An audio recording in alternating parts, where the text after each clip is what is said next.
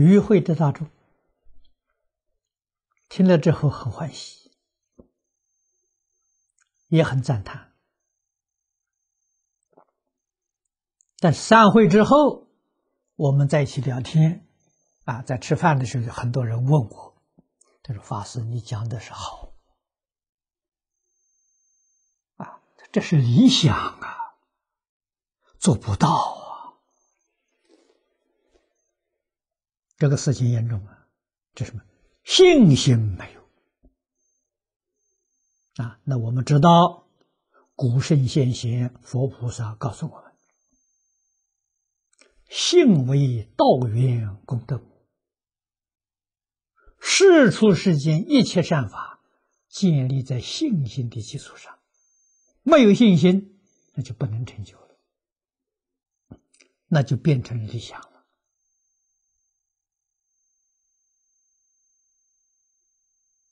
啊，为了帮助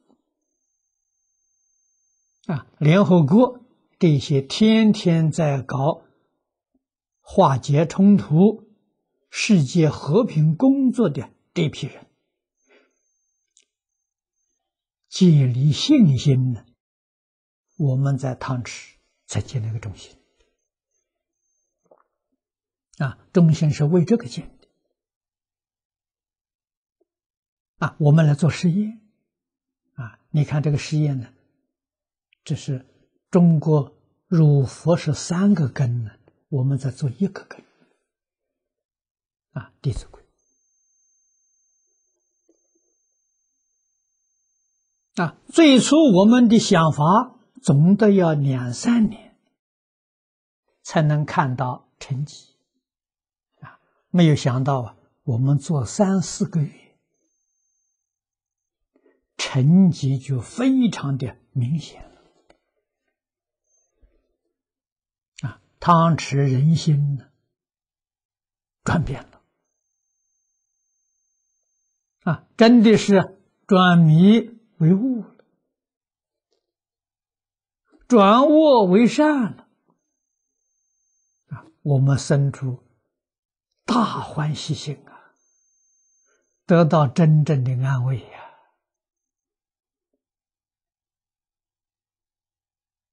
啊是我们从这个实验当中肯定古大德教导我们的人性本善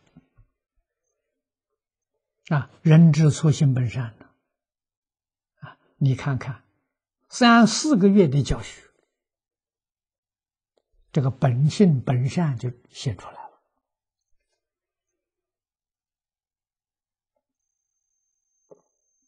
啊，人能够耻于作恶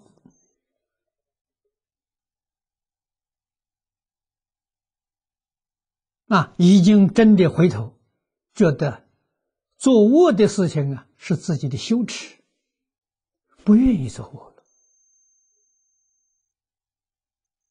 了啊，都能行善。汤池这个地区啊，离婚率大幅度的下降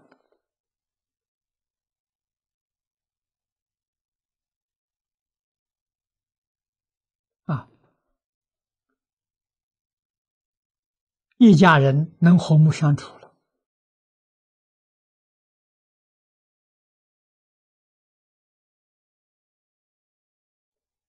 婆媳。关系好了，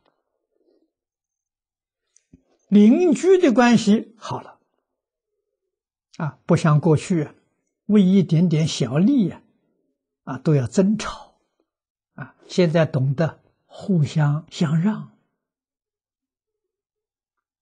啊，不争，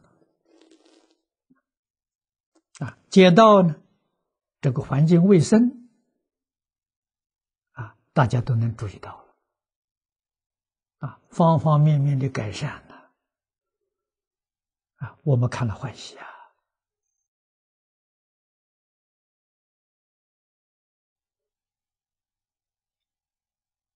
啊，那也是真的说起来了，是祖宗之德，三宝加持。啊，使我们有机会啊，在同一个年份里面，十月啊，能够把汤池的成就向联合国教教科文组织做了详细的报告。啊，我们很感谢联合国提供我们的场所，做了三天的展览，产生很大的效果。啊，使这些人们的升起信心了。啊，汤恩比说的话没错，不是一想可以落实的。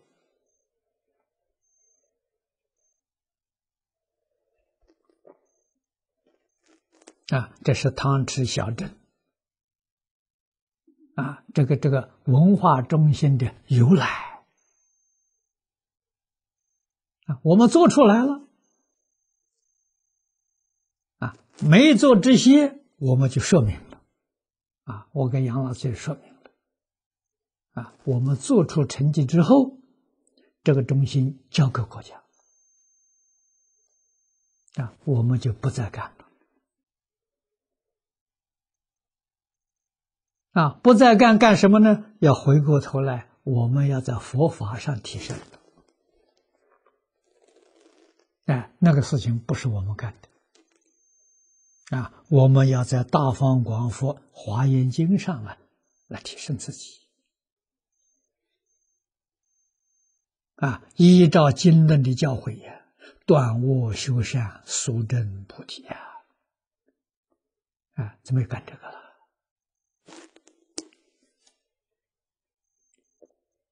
这下面又说：“ 又菩萨大悲大愿，以身为止，与三恶趣救赎一切受苦众生，要令得路，敬未来际，心无退去，不与众生希望谋法报恩之心。”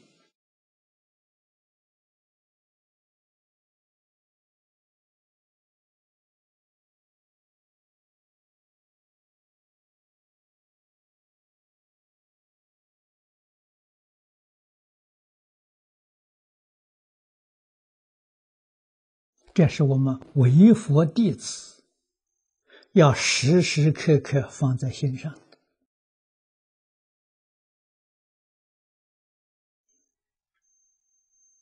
啊！我们要进提升自己，向菩萨道上去精进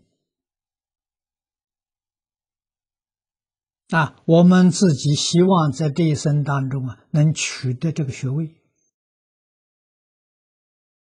啊，佛门里面，佛陀是最高的学位，菩萨是第二个学位。啊，要向这个目标啊去努力。啊，菩萨道是大慈大悲，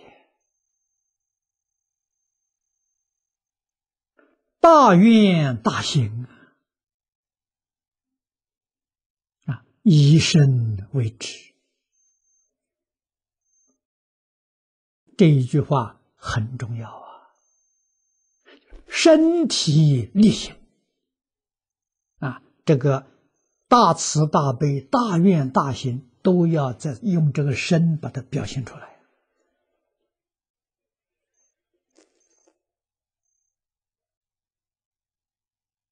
啊！于三恶趣救赎一切受苦众生。三我去在哪里？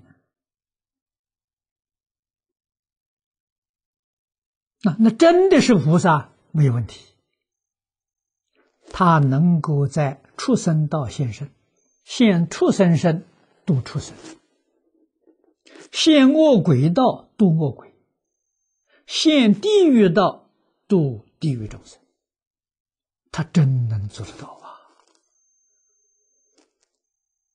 那这不是我们凡夫能做到的。啊，我们凡夫只能够做出啊与这个性质相同的行为。啊，那就是说，现在这个社会上有造三恶道业因的众生，你要帮助他啊。帮助他断恶修善，他就不堕三恶道了。这样把那个三恶道众生真的就救出来了。啊！可是这个事情难呐，不容易啊！啊，三恶道的业因是什么？千经万论，诸佛菩萨是处处点醒我们。就是贪嗔痴，叫三毒烦恼啊！啊，贪是恶鬼道的业因，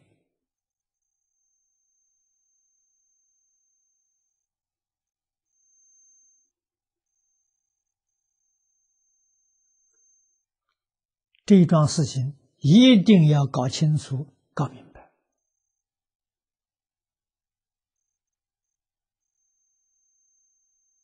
啊贪财、贪色、贪名、贪利，啊，贪饮食、贪享受，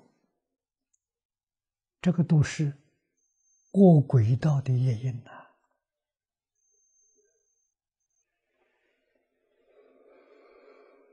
学了佛之后了，知道这是错了。啊，财色名食睡是错了，不谈这个，结果怎么样呢？谈佛法，行吗？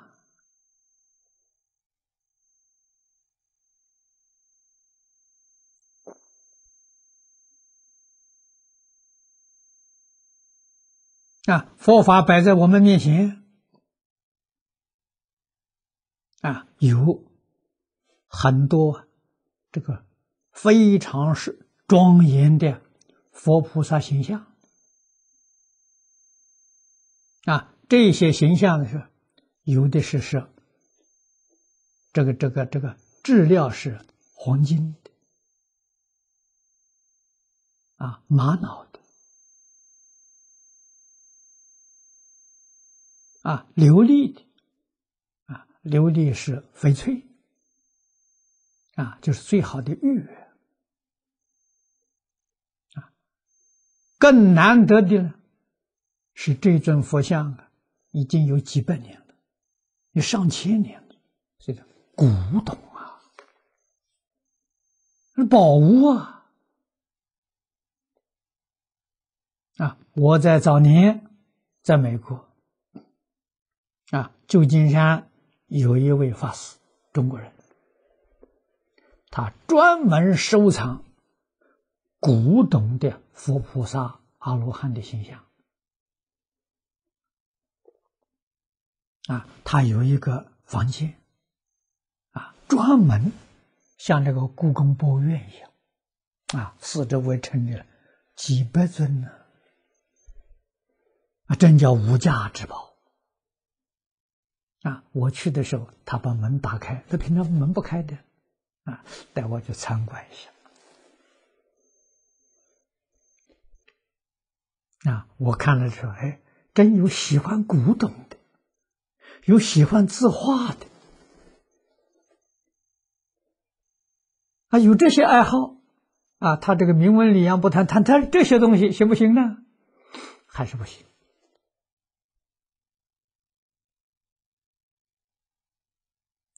他生不到净土。他也没办法，是是往往天上走，为什么呢？贪心，贪是恶鬼道，但是这是善法，善法将来做福德鬼，啊，鬼里面去当鬼王，当城隍，当土地公，哎，有人去祭祀他，拜拜他，他就落到这一道去了，啊，鬼里面的神道，这个要小心啊！啊，这是高的，如果是低级的，它里头贪的时候，里头会夹杂着名闻利养在里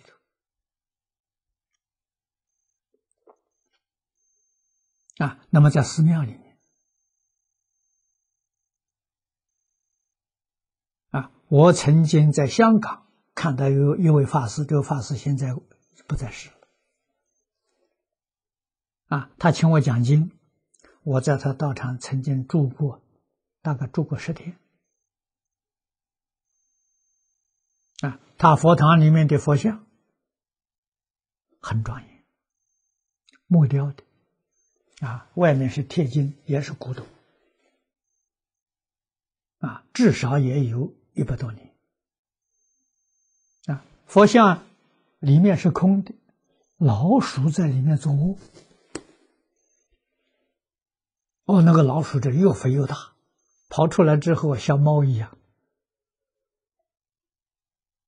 啊，当然寺庙里不杀生嘛，啊，就把它赶走嘛。啊常常老鼠到厨房吃东西，所以让我马上就想到了，啊，那些老鼠都是从前寺庙里的修行人呐，啊他喜欢这个道场，啊，想居住拥有这个道场，不愿意离开这个道场。啊，那这个道场里头也没有夫妇，啊，也没有男女混合在一块住的时候，他就不能来投人胎呀。可是老鼠有住啊，他可以投老鼠胎呀。蟑螂啊，再小一点蚂蚁呀，他就投这个胎。啊，所以寺庙里面这一些小动物啊，你见到你都要想到，要提高警觉。我要搞不好，将来也是这个，跟他一样啊！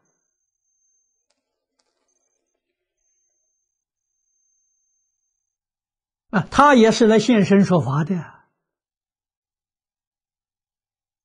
啊！你看他过去造的什么因，现在的什么果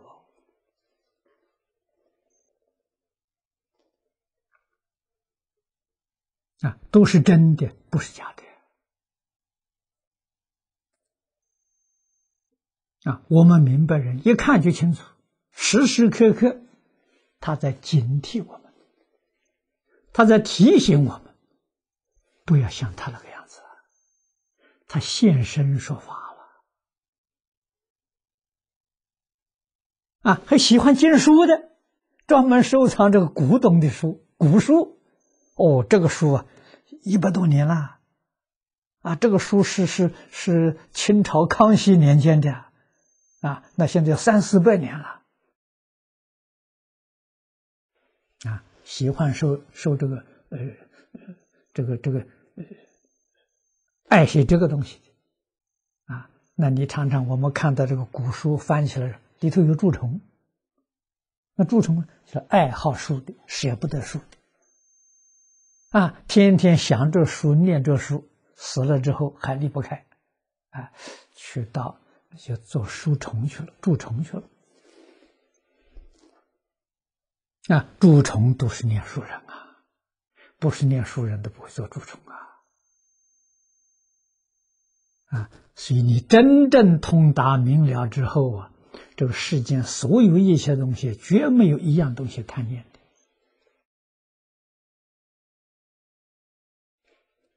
的。啊，所以有很多人愿意收集这一些。珍宝、古董，啊！我这一生没有，我连字画都不收集，我没有东西，啊！为什么呢？因为我没有道场，我没地方放啊！啊，名画送给我，我就想到赶快转送给别人。有许多收藏家，他们愿意收藏。啊，再不然我就会送到学校，啊，学校有图书馆，让学校、大学去收藏。啊，我自己不干这个傻事情，因为你有这个东西，你常常会想着，啊，你怎么样保管它，啊，怎么样不能把它遗失，把它破坏，你操这种心呐，这就不好了，我们就受到伤害了，啊，所以你看过我背后这幅像，唐朝画，唐画，啊，这是复制品。这是有个居士送给我的，我一看到非常好，赶紧做复制品，原呢原来送走不要了，啊，复制品我做了三十幅，这个这个一套的时候，这是台湾钱也不过就一千多块钱呢，啊，和我们人民币大概只有呃三百三三四百块钱的，啊，这就无所谓了，啊，谁拿去都好啊，啊，我愿意用复制品。我不要这个这个这个呃原原来这个人我不要他的，原本我不要啊，没有这些累赘啊，没有这些妄念，你说多自在呢啊！所以这方面要懂得，不要被这些东西起了一个生养成嗜好，那就错了。没有嗜好，饮食起居给什么吃什么。啊，是问我欢喜吃什么？没有，从来没有说欢喜吃什么。啊，不欢喜吃什么？没有，给我就吃。啊，吃饱就算了。啊，所以日常生活啊，饮食起居、衣食住行都不讲究。啊，到这个地方来，啊，这一边的护法。同学们，建这个大楼，我一看，我来的时候讲，太豪华了，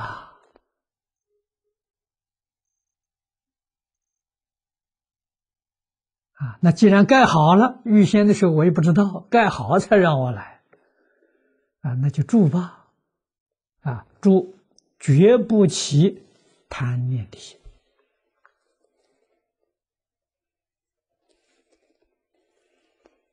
啊，随时可以放下，可以舍掉的呀！啊，不要起贪爱呀！啊，我这一生啊，搞的小道场都不大，啊，但是建好住不多久啊，全都舍掉了，啊，到处舍。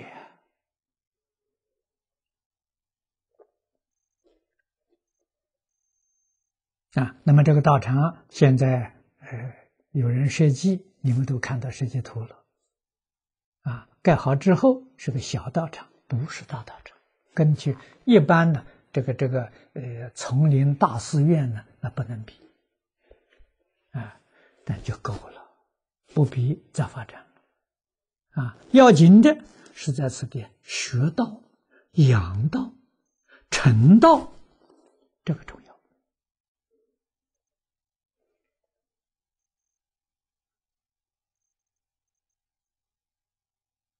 啊，道场里面真正有修行人，真正有德行的人，啊，真正有开悟的人，真正有正果的人，这叫宝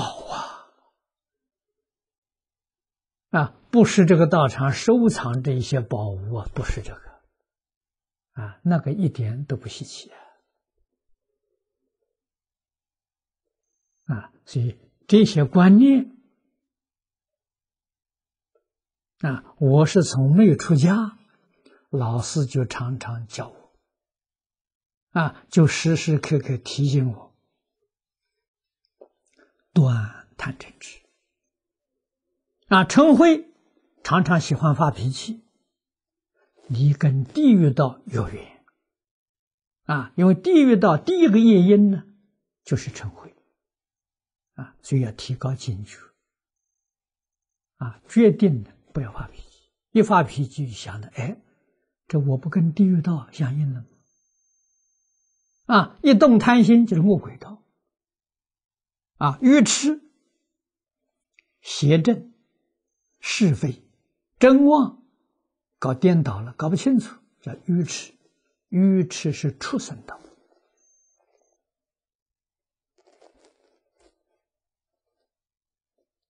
啊，功高我慢，魔道。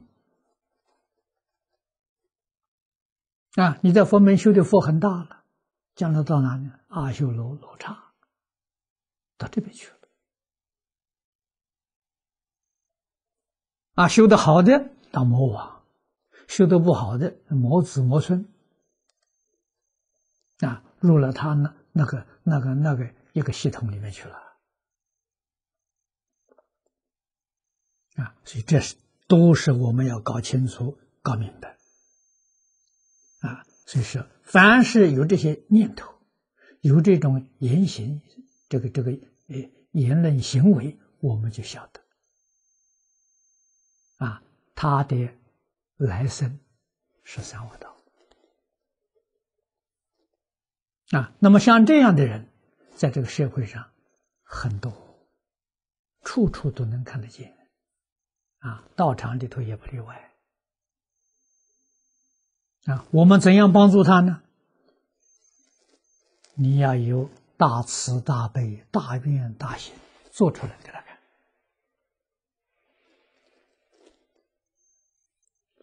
看。啊，这样才能够救赎一切受苦众生，要令得乐。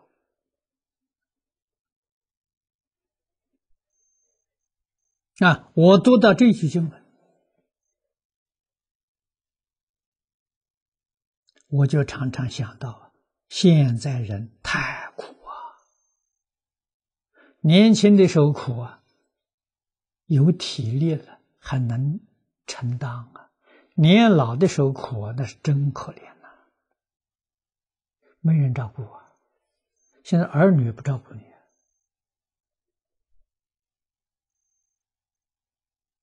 这是个大问题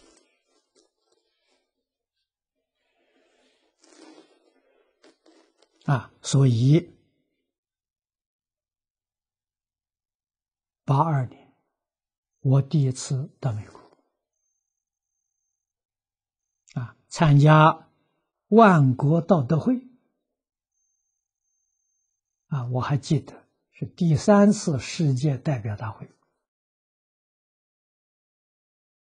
在洛杉矶召开的。我们进入美国是从旧金山进去的。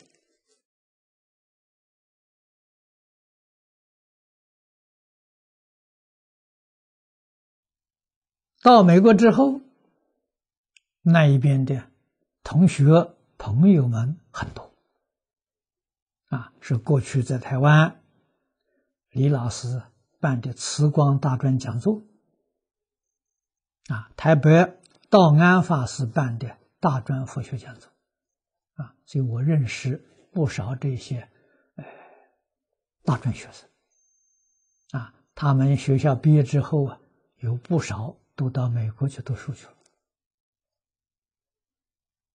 了，啊，当时统计就是我们大专讲座的学生，在美国留学的将近三百人，分散在各个城市，啊，听说我到美国。都很欢喜啊！所以以后啊，我住在美国，美国、加拿大一共有三十多个金宗学会啊，可是每个会都是独立的啊。我们只有在修学上互相有联系啊，人事财物是各个独立。那我每年呢都会到各个地方啊去巡回讲经一次，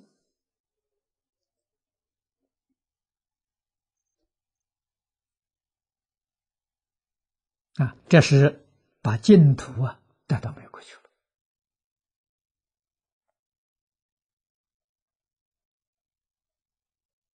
了，啊，有一次在旧金山，这是第一次，啊，第一次在美国。啊，讲了好像是五天，啊，在一个老人公寓，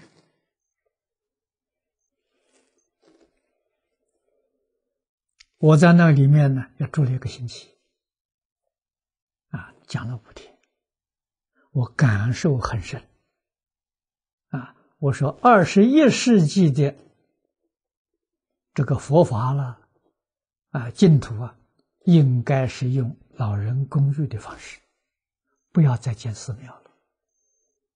啊，这些退休的老人在这边养老，如果天天听经、天天念佛，这个多快乐啊，这个多么好啊！啊，那个老人院是犹太人建的，这犹太人很聪明，它里面一共好像有四四百多个单位，规模很大。啊，一个单位呢，它有一个房间，啊，一个卧房，有洗手间，啊，还有一个小阳台。有一个客厅，啊，有厨房，啊，面积虽然不大，这个居住的环境呢都很不错，啊，所以我就想到了这弥陀村，这弥陀村的念头从那个地方生的，啊，如果像这样一个老人公寓，啊，有个两三百人住在一起，啊，大家天天念佛，天天学教，天天讲经。这个是晚年最幸福的一桩事情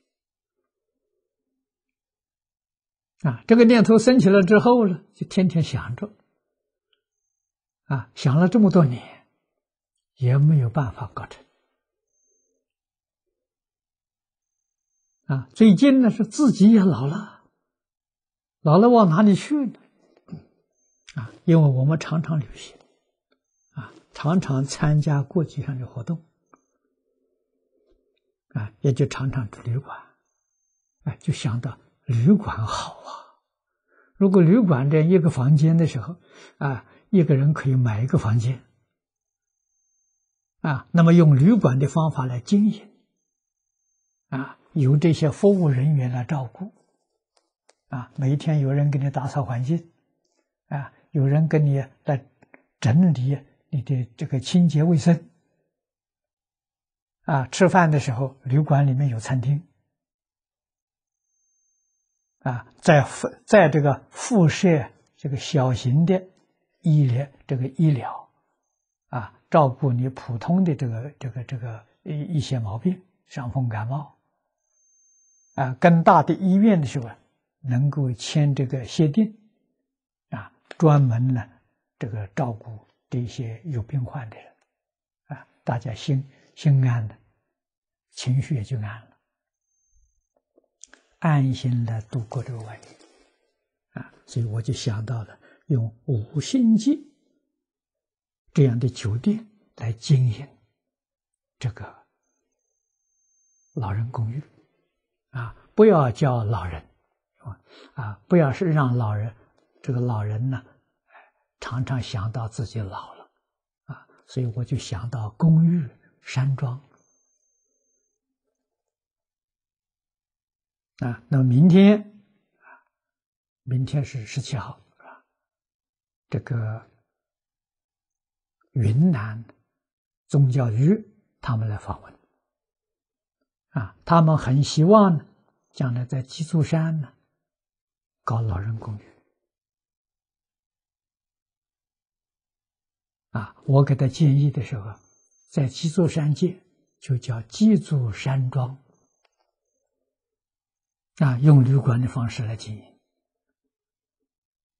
啊，在大理建呢，就用苍山山庄，啊，大理背后是苍山，前面是洱海，啊，来做实验，啊，这个实验做成功之后啊。我想，老人在晚年应当过到一生当中最美满、幸福的生活。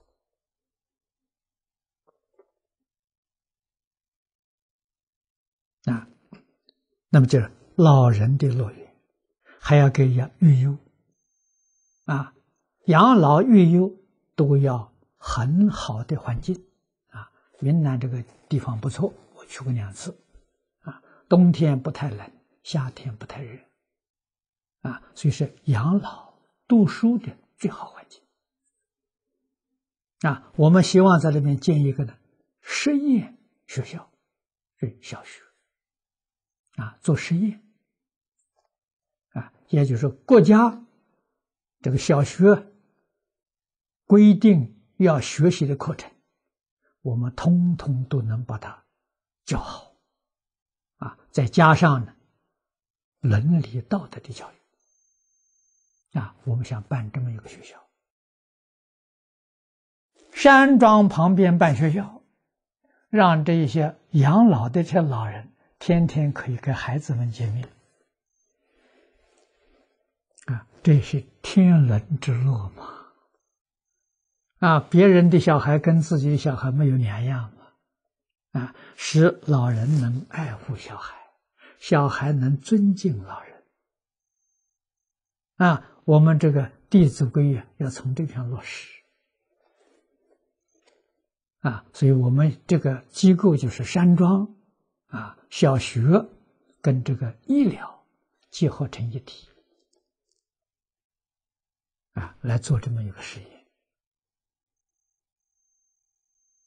啊，所以现在大家呢都有这个共识，啊，有这么一个认同，啊，我们在一块研究，希望将来怎么个做法，啊，那么我过去给这个老人乐园的构想呢？我也写了一点资料，啊，老人福利事业、老人乐园的构想，啊，这个是呃散发的很多，啊，这个也有，这是零七年，啊，去年七月写的，啊，看到的人也都很欢喜，都希望这个理想能够实现，啊，特别。是国外的华侨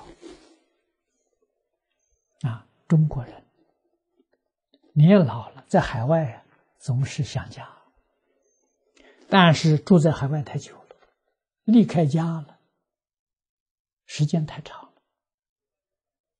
啊，跟家人呢也没有什么联系，所以想回来，回来又担心受怕，啊，怕人家骗他。啊，怕人家虐待他，啊，所以不敢回来，啊，对家人没有信心，啊，所以如果有这么一个企业，啊，用公司的方法来经营，公司是保障，啊，建这一个像大旅馆一样，一个房间一个房间可以卖，那这个花钱不多，我想一个房间顶多二十万足够了，啊，二十万在国外华侨了。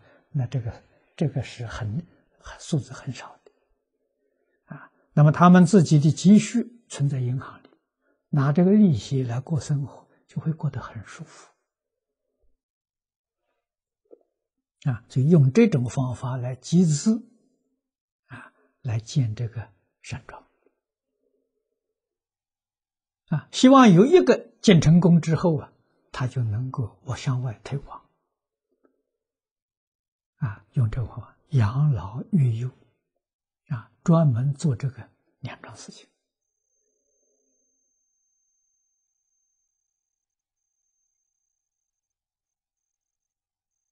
啊，云南的宗教局的熊局长，啊，也非常热心，啊，与宗教这个宏护人才的培养。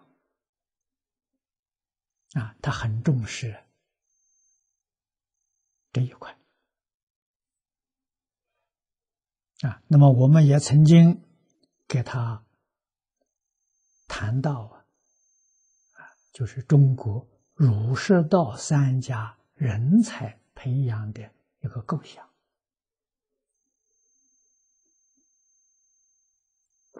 人数不要多啊，小型书院。啊，希望一个书院呢，居住的人不要超过十个人。啊，十个人在里面学习。啊，我们采取佛门闭关的方式，十年不下山。啊，真正发现。啊，一门深入，长时熏修。啊，这个我过去。也在讲习里面做了很多次的报告，啊，那么基础最重要的基础呢，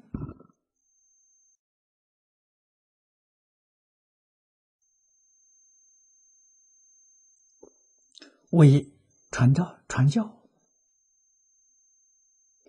德行呢是第一重要。啊，出家一定要扎四个根，在家呢也要扎四个根。啊，就是我们要很认真去落实《弟子规》《感应篇》《十善业道》跟《沙弥律仪》啊，这四个是我们基本的课程。啊，这个不是念的，不是讲的，啊，不是写文章的，啊，是要身体力行，也就是我们这个文里头以身为志。啊，这是本质啊！我们一定要做到！《弟子规》在哪里？《弟子规》在我身上啊！《感应篇》在我身上，十善业、沙弥律都在我我的一举一动、一言一笑啊！起心动念跟这四颗完全相应。这个人，他就具足世出世间圣贤的基础条件，他具足了。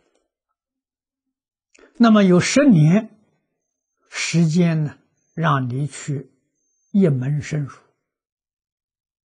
啊，长时熏修啊，这十年之后决定成就。啊，这个成就的目标是中国人讲的贤人君子。啊，我们要向孔子学习，要向孟子学习，也要达到孔孟的水平。啊，做得到，不是做不到的呀。啊，在佛法里面呢，也要达到菩萨的水平。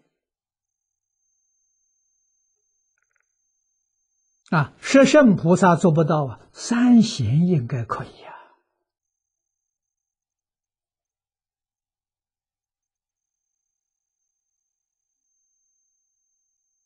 啊，尤其我们在华严学习了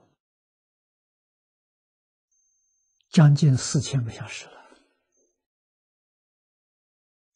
有许许多多理论原则。我们都能够掌握，也能够产生信心，相信我们自己在这一生当中啊，可以能够达到。啊，我们现在修学的这个本小册子啊，《华严奥旨》，望境还原观，这个还原是成佛。这个缘是自信呐，回归自信，见性成佛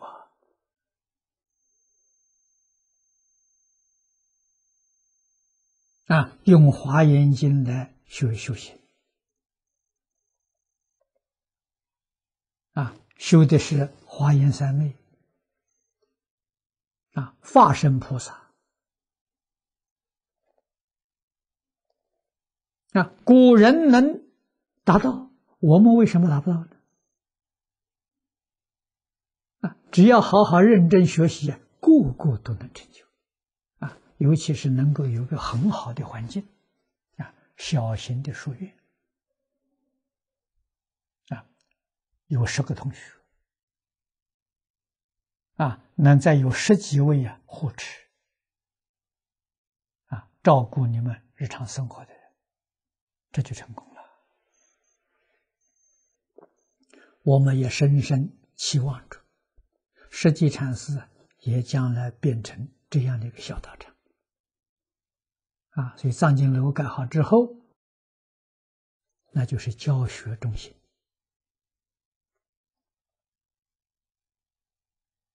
啊，下面一层是大教室，啊，它的右面盖一栋啊，跟我们现在这栋房子完全相同，啊，这些图你们都看过，那是宿舍，啊，在这个地方，十年不出山门，啊，专攻一门，天天。做学习的报告。啊，我们的报告现场录像。啊，用网络播出。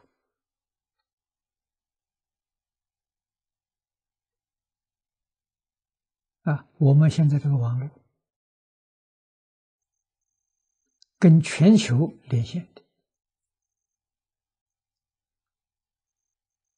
啊，在美国，许许多同同学的时候，他是同步来看的。我们这早晨，他们晚上。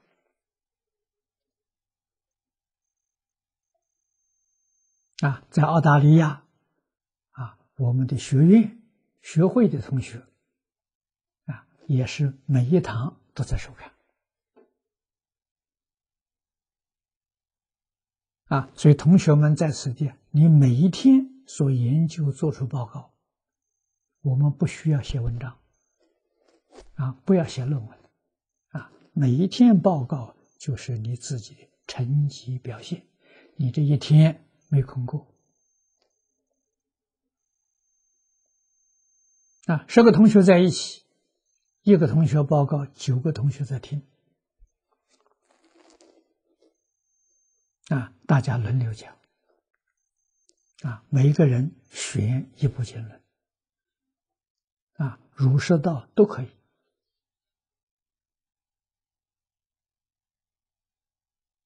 啊，如果有缘分的时候，我们也请一些学者们，啊，给我们大家来讲讲、上上课，这也行。啊，但是最重要的是自己去研究。参考的书籍，我们此地现在有一套四库会要。啊，那么将来呢，还有一套四库全书。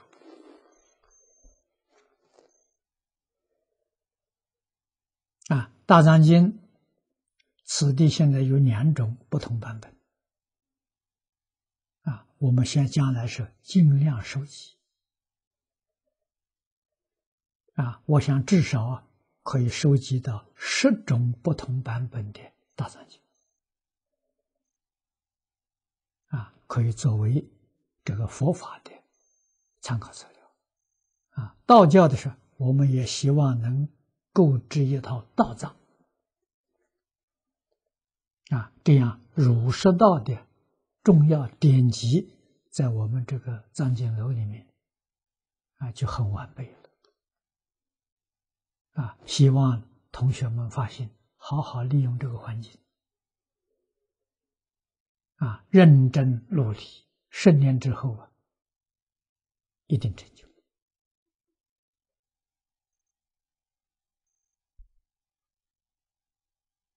啊，十年之后呢，那诸位也就成名了，啊，全世界人都知道你，因为他们在网络上天天看你的报告。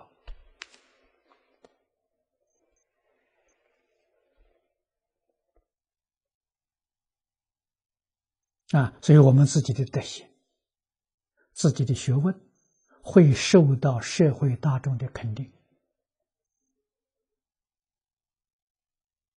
啊，十年之后结业的时候，我相信许许多多的学校、道场都欢迎你们去主讲，啊，去教学，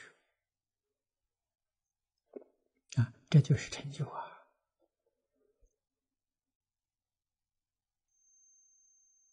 啊，第一批成功之后了，那我们再招第二批。啊，希望这个道场将这种学风道风永久保持下去。啊，这叫护持正法。所以护持正法从我们自己做起。啊，从我们自己开始，我们要爱惜自己。啊，要爱惜正法。啊，要常常呢想着苦难众生，我们自己苦修苦行，待众生苦啊！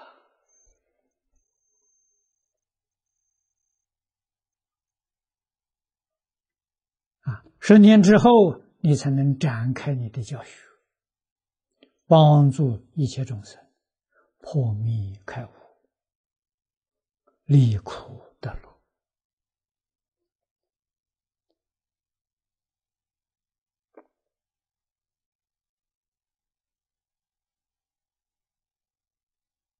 啊，所以希望同学们一定要珍惜这个稀有难逢的因缘。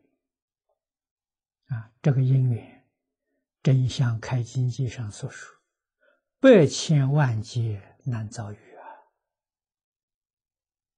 啊，只要我们认真，自然有龙天护法、善神守护。啊。有真正护法的大德来帮助我们，啊，帮助大家。今天时间到了，我们就学习到此。